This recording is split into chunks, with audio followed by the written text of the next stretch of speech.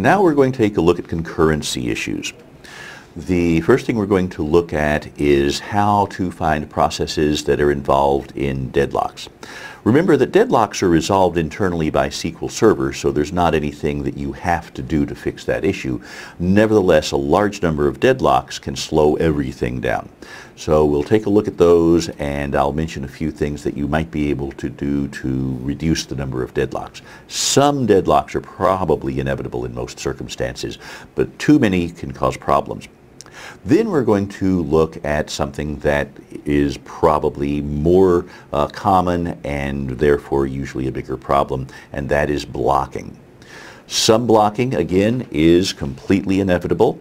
Um, sometimes processes are going to want the same resource, and the first one to grab it wins until it releases it. So we're going to, to see how we can find out which processes are blocking which other processes, and we'll talk about some things that we can do to reduce that problem.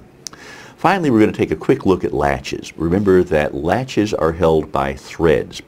And we have some, so we have a lovely dynamic system view that we can use to find out what's going on with latching and see what processes may be causing latching issues. We're not going to do a whole lot with that one uh, because that's pretty much internal to processes, but it is nice to be able to figure out processes that are keeping too many latches for too long, and then those processes may be able to be rewritten.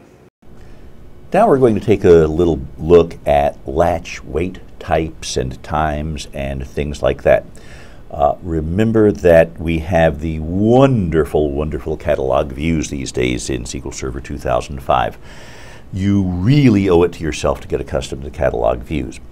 So I'm going to launch Management Studio and then I'm going to run a script that is just going to return a bunch of stuff from the catalog view that we use for uh, finding out what's going on with our latch waits.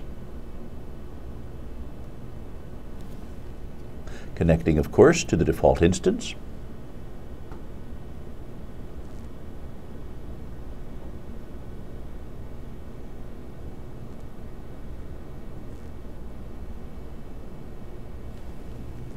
And we don't need the Object Explorer, so I'm going to close that window and open a new query.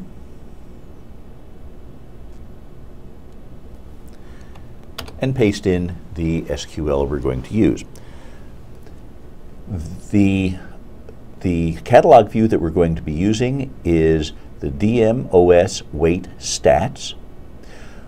We're going to filter out lazy writer sleep and wait for wait types. Uh, the wait type, by the way, is the is the resource that is being waited for. Uh, we're we're really not interested in the ones that are simply waiting. Okay, we want ones that are waiting because of some reason, and we are going to order by wait time in milliseconds descending. So we're going to look at the ones that have been waiting the longest for some particular reason first. Let me execute the query. And Shazam. Uh, we're not going to go through every single one of these, but I want you to notice uh, what we've got. Remember that we selected star from this catalog view. There are, there, there are only five columns in it. Uh, so here is the trace buffer flush, and this is the waiting tasks, the wait time, in milliseconds, the maximum wait time in milliseconds. Now, the maximum, you may say, well, now, wait a minute, the wait time is a whole lot larger than the maximum wait time. That's per task. Okay, uh, and, and we have a lot of these. Remember that the wait type is what is being waited for, right? So we have, we'll scroll down here a little bit and take a look at this.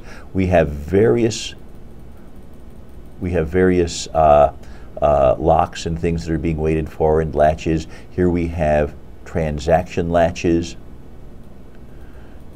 various kinds of locks. We have page latches. Here's a here's a checkpoint. Now notice these aren't down here. These are not waiting. Okay, remember we we ordered by wait time, so we got everything. We could have thrown in uh, uh, where wait time ms is not zero or is greater than zero or something like that. But that's all right.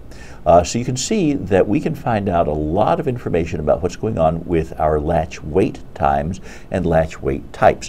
What resource is being waited for, uh, how many tasks are waiting for that resource, and how long have they been waiting. Uh, checking this every once in a while can be a big help in helping you get a feel for uh, the, the trends in SQL Server. There's always going to be latch wait times. But if these numbers are going up, especially if they seem to be going up precipitously, then it's probably a really good idea to try to figure out why.